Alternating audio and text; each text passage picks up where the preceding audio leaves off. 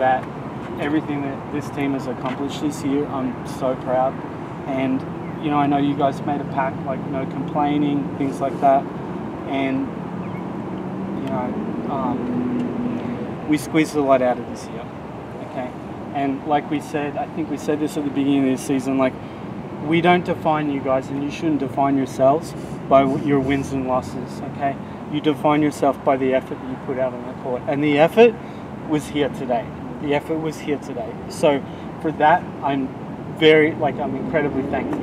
Okay, for my two seniors,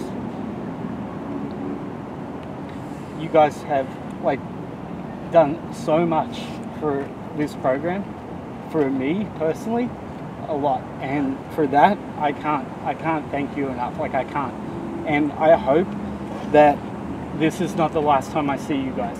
Okay, when you come back to Lee, I expect to see you in my office talking to my other teams when you're old and grey and have babies.